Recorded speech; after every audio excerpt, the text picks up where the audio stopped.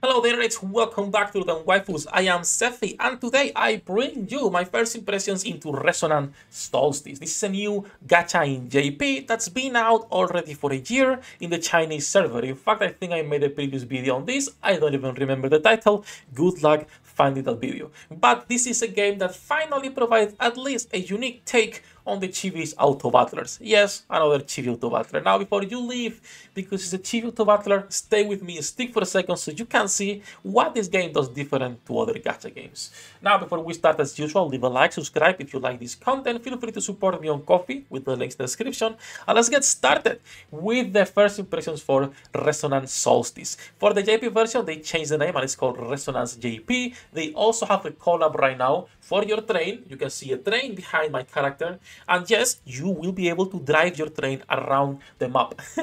this game is basically, instead of focusing the meta around characters and a tier list, they focus the meta on trading.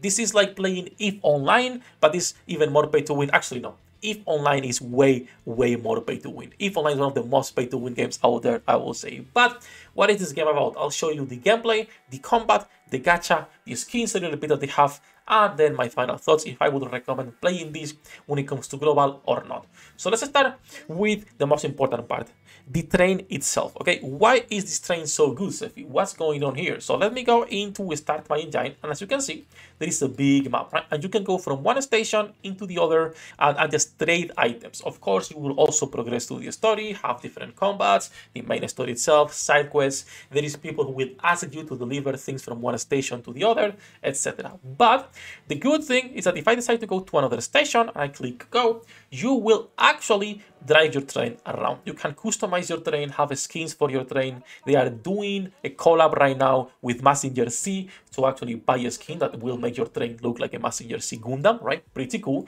But this is your train. You will go with your train around. You will actually see other players as well. So if another player is coming to the station, in fact, you guys will be able to see one uh, right there, I believe. You will be able to just see them chilling, right? So let's actually uh, sprint a little bit here. You can change different cameras on the train. The cameras are up. Well, we got to stop on a combat, all right? Sometimes random enemies will stop you and will be like, hey, you cannot come through here. Either you bribe us or you fight us. We will fight. That way you also guys can see the combat before we keep going. This is my team right now. You bring five characters into the battle. Nothing interesting. There is positioning like in Trickcal, like in Pricone. There is the back row, the middle line, and the front row. And of course, I got a lolly and a dude as my SSRs. I'm so lucky. so let's talk a little bit about the combat itself. Combat is your usual auto battler chibi. It looked decent. I will say we've seen worse auto battlers when it comes to the card system, just like Counter Counterside and everything we've seen uh, previously. Nothing unique. There is auto, you don't have to worry too much. There is no two times the speed, or I haven't found two times the speed. That's the only thing I dislike. I will love a three times the speed because most combats you don't care, right? You just see like to drive your train. That's the fun part of this game. but when it comes to the combat, it's, it's basic beach combat. There are ultimates without a burst animation or without cutscenes, if you will. And every time you finish a combat, you will not only get experience, but materials that are important and this is important as well because there is a lot of enemies in the map. You can attack every day and they will give you materials that you need actually to progress on the story and to sell and trade in other places. By the way, as you can see, this is a train coming up, which is another player, and he's going to the station we were in. So you can see other players, and you can switch the camera to different perspective on your train. All of these enemies you see on the map, you can find them, and they will give you materials that actually make sense. I do not know if these enemies respawn after a day or not, or it's a one-time thing, but there is a lot of them. Uh, so this is the base gameplay itself, right? You go from one station to the other. Now, where is the good part and the unique part? Because if it was only this, it would be kind of boring, right? The unique part comes in the trading system, because this game is not about the meta, but about how much money you are making with your trade. So let me actually open up a couple tools so you guys can see them. So while we arrive into the next station, let me pull up the spreadsheet. This is the spreadsheet for the game to know where the prices are low and where they are high for you to be selling and buying stuff on the Chinese version. The Chinese bros like this game a lot, as you can see. Not only this spreadsheet, which is a QQ doc, but there's also a website dedicated just to this, just to calculate the best trips you could be making that day. Because again, this also changes. This was different yesterday. I don't know how often the prices change, but these tools are really fucking good. They also allow you to plan your trips based on what you have on your inventory. So this game is literally not about the combat so much, but from going to point A to point B. And as you can see, we arrived here. And then you come into the station and you'll be able to buy and sell whatever you have on your train. You can also customize your whole train, how many cards you have, what type of cards you have, etc. So every city or every station, sorry, will have all of these different things. There is interactions with your characters, recovering stamina. There is, of course, combat. There is going in dates with your characters. And the important one, the trader right here. Traders have two options. They have buying stuff, as you can see, and you'll be able to buy at a low price, for example, right, if you want it, at an 88%, and you can just buy this. You can also haggle a little bit how much you want to spend. As you can see, every time you're purchasing something, you're going to be getting a report as well on how much money you've made that day.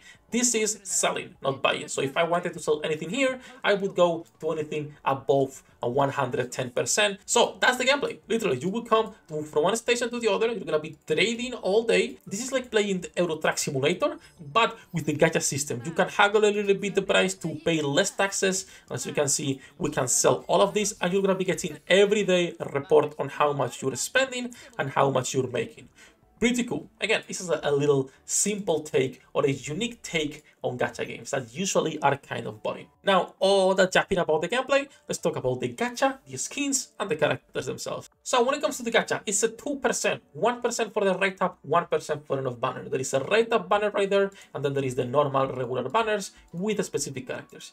Uh, of course, we're trying to go for the waifu, but we've been quite unlucky. The animation is quite nice. You press the button, you call the train, and you see the light, it's blue, we got nothing. If the light is purple or gold, you know if you got anything. Something that I like outside the gacha is the characters themselves, because all of them have L2Ds. So if I go to even a normal character, like this one right here, she gets her L2Ds, and when you max her out, she will get a new L2D as well, as you can see quite pretty. The skins, I don't like a lot. This is a paid skin, and it's like, okay, the skins themselves are not honestly great. There is no a lot of fan service. So outside of the unique take of you're maintaining your train and customizing it, I don't think it's an amazing game. I don't think it provides, even with this new uh, train mechanic, right? Even with this train mechanic, if you will, I don't think the game provides enough for me to be like, oh, I'm interested in playing this on global. Will I try it when it comes out in global so I can see the character personalities and understand it and, you know, overall what they change? Yeah, of course I would. But I don't see myself playing this long term. When it comes to the shop, pretty standard bullshit shop for any gacha. All right, every gacha has the same shop. They are all awful. This is the usual shop with your monthly card, your battle passes, your uh, multiple packs every single day. The battle pass gives you a skin every battle pass. But like I was saying, as you can see, this is the skin on top of me. I just don't like this game. Like I don't think the fan service in the game is enough to keep me interested. Even if I were to come here and I were to show you guys, for example, this is the skins for the train. I think they are quite expensive. So this is the a Mazinger Z skin and it's 30 bucks and it's limited. I don't know when it's going out or if it will be coming back, but it's for 30 bucks. You, you're not getting even a multi. You're getting just the trainer skin, half, uh, almost a multi, and then some decorations for your character. That's it, nothing else. Also, the trainer skins have stats. You're gonna be going faster with this skin than if you were to go with a normal one. When it comes to the other skins themselves, I don't really like them. So these are the skins of the game, and as you can see, they are not that great in terms of, like I was saying, fan service. Sefhi, you only play fake games for fan service? Yes! I, I literally called you the generates at the beginning of my videos. The fucking thing I'm playing games for. To collect waifus. Exactly. God bless collecting good looking PNGs. So all in all, I like the game. I like a lot the concept of driving your train and trading around. And you can trade all day if you want and make money. But the gameplay is quite lacking. It's just a trivial to battler and there is not enough fan service for me to like this game. Some of the new Chinese characters look super good and I'll put them on the thumbnail, but that's about it. So once again, like I was saying, an interesting take on the trivial to battler with some new mechanics, but not enough for me.